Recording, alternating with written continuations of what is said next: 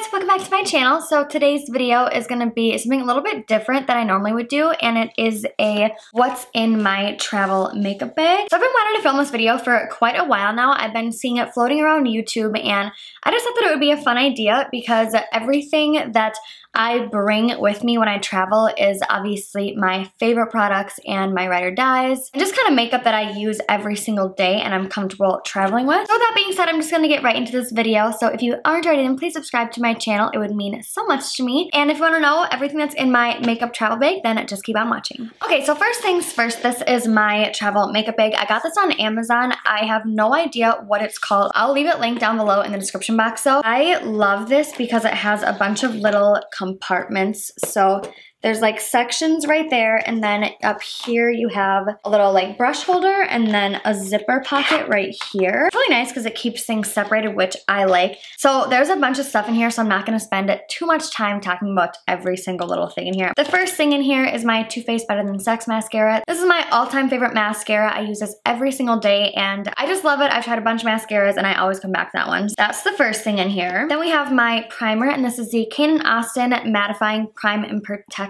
primer. This is my go-to primer that I use every single day. It's perfect for people that have oily skin and larger pores. It also has an SPF of 50 in it, which is awesome, especially because I am going to be in Vegas tomorrow. So it's going to be like 110 degrees, so I'm going to need that. Next thing I have in here is the Smashbox Studio Skin 15 Hour Wear Foundation. I absolutely love this foundation. This is in the shade 1.15, which is actually pretty light for me right now. So I also brought my Cover FX Custom Enhanced or Custom Cover Drops. This is the shade N70. I just put a drop of these into my foundation, mix it in, it's like the perfect shade. The next foundation I have is the Maybelline Fit Me Matte and Poreless Primer. This is in the shade 228 Soft Tan. These are the only foundations that I bring anywhere that I go. They're my all-time favorite concealer, or not concealers, foundations. They're my all-time favorite foundations. I love them so much. Once again, very, very good for oily skin and they make your face look so soft. And my makeup literally stays on all day long when I'm wearing them. So yeah, love them so so much. Then I have the CoverGirl Advanced Radiance Powder. This is the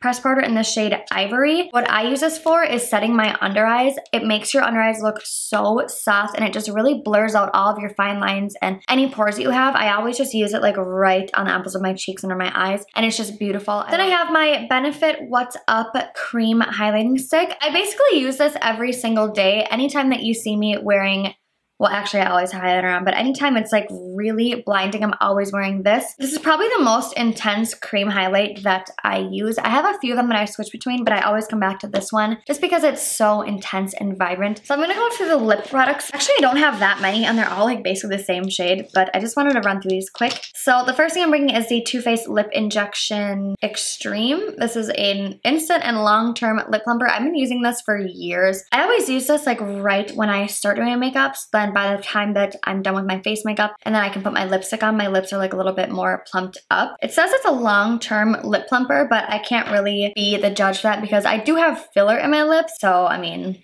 how would I ever know if it is long term? Either way, I love it. Then I'm bringing my Marc Jacobs Sugar Sugar lip gloss. I love this lip gloss so much. It's just perfect to put over anything. Then we have Too Faced Melted Matte in the shade Cool Girl. I literally wear this like every single day. Such a pretty, cool nude shade. And then the Too Faced Melted Matte in the shade Queen B. wear this all the time. I love these types of colors. Then we have the Kylie Cosmetics Velvet Lipstick in the shade Babe. It's just a really pretty nude and I love this formula. I'm tempted to bring all of the velvets with because they're so pretty and they just make your lips look really nice. Like they just make them look really plump. And then I have the Make Up For Ever matte liquid lipstick in the shade 103. So I'm just bringing a bunch of nudes basically. And then this is the other, just a plain lipstick. This is the Urban Decay lipstick in the shade Safe Word. I love this shade. It is so pretty. Okay, now these two things, of course, don't fit in this, but these are just eyeshadow palettes that I bring. I'm bringing my Z palette, and this is just my like custom made one. I have all of my favorite single shadows in here. I normally am fine with just bringing this, like this is the only thing that I usually would bring. It has all my browns, has all my warm mattes, transitions, my inner corner highlight, a black, and I basically have everything that I need in this palette. I normally don't wear shimmer eyeshadows. I just feel like they don't really look that good on me. That's why basically this entire thing is matte except for this one shade and that's MAC Nylon. If you guys want me to, I can list every single shade that's in here in the description box. Probably would take me a while, but I can definitely do that if you guys want me to. And then the other palette that I'm bringing is this Jaclyn Hill and Morphe palette. Of course I had to bring this because it's so beautiful and I just got it. I just want to play with it. And if I do feel like doing like all out makeup, this will definitely be the palette to do that with. I mean, look at these shades. Come on. So these are the only two eyeshadow palettes that I will be bringing. Then I have my brow pencils and I have the Anastasia Beverly Hills Brow Wiz in the shade Soft Brown and then the Benefit Precisely My Brow Pencil in the shade 4. But this one is a little bit more cooler tone and then this one has a little bit more warmth to it. It's a little bit darker. So I just like to switch off between like day and night and I'm weird. Then I have my Too Faced Papa Don't Peach Blush. I say this in like all of my videos how much I love this blush. It's just one of those beautiful blushes that you can wear every single day. It has a nice sheen to it. So when it hits the apples of your cheeks, it just gives you a really nice and youthful glow. And that peach undertone is just so pretty. So I love that blush so much. And the other blush that I'm bringing is my MAC Warm Soul Blush. I just really like my natural blushes and this one is very pretty. This one also has a sheen to it so it is going to make your cheeks look glowy and fresh and that is just my favorite look. So those are my two favorite blushes that I'm bringing. Then I have my MAC Studio Fix powder and I use the shade NW20. It's actually really light for me right now but I'm bringing it anyways because I like putting it on the center of my face. Normally I'm NW25 and I can wear NC25, but I don't, I like this one better. But yeah, so this is what I'll wear when I'm just in a rush. I'll just throw on some powder and that's it. I normally will not wear this when I'm doing like a full face of makeup because I use setting powder. But yeah, I'm just bringing that for the days that I'm in a rush to get ready. And then I'm bringing my Becca Champagne Pop Highlighter. My favorite highlighter ever, as you can tell. This is one of the only highlighters that I can wear when I'm really tan and really pale, so I always bring that everywhere I go because it's just super universal for me. Then I'm bringing my Ofra highlighter in the shade Rodeo Drive. This is another one of those highlights that I use when I'm a little bit tanner. It is so stunning. Look at this.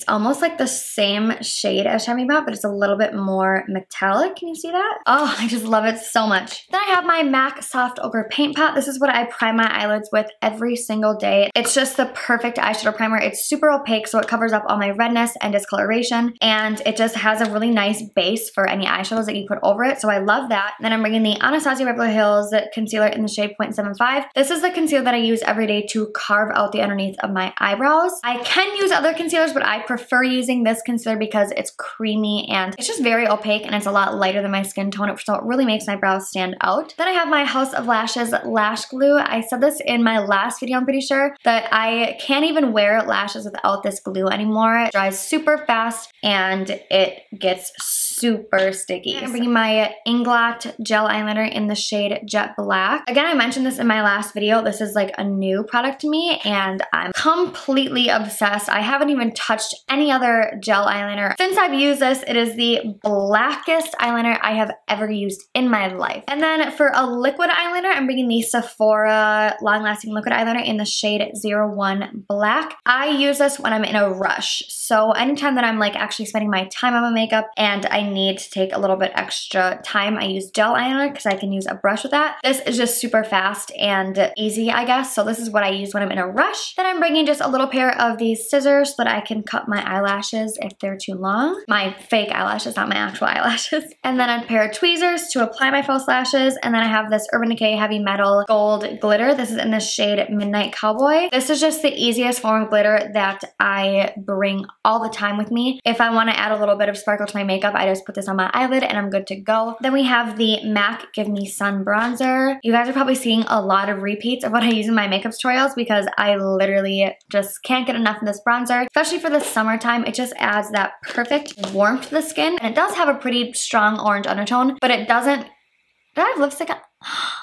I've had lipstick on my teeth this whole time.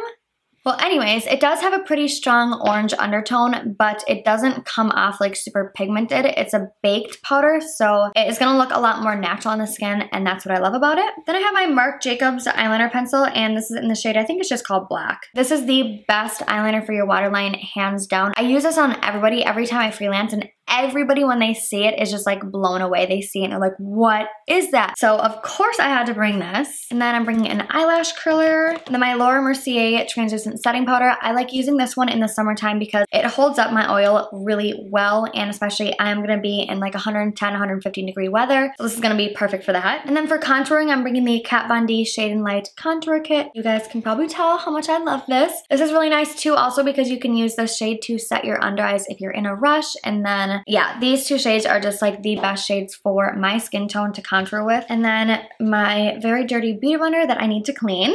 I'm also bringing my Anastasia Beverly Hills Brow Gel. This is in the shade Chocolate. Again, I just love running this through my brows if I'm in a rush. So a lot of things I have here are just in case I'm like rushing out of the hotel and my boyfriend like doesn't give me enough time to get ready. I also have my RCMA No Color Powder. So I don't really use this to set my face anymore. I basically only use this for baking now because it's so cheap. It's like 11 bucks, I think. You get a ton of powder, so I don't feel too bad about using a ton of it when I bake. So that's what I bring this for. I always bake underneath my contour line and I sometimes bake underneath my eyes, not all the time, but when I do, I use this. Okay, and then I'm just gonna run through these brushes really quickly. I'm not gonna talk about them, but these are only my eye brushes that I'm bringing that will fit in here. I have a whole separate case that I bring my face brushes in because it's not that tall, so it kind of like crushes them and I don't wanna ruin my brushes. So I'm just gonna say the names quick. This is the Sigma E06 brush. This is what I use for my winged eyeliner. The Morphe M439 brush. This is what I use for my foundation. Morphe M572 brush. This is what I bake with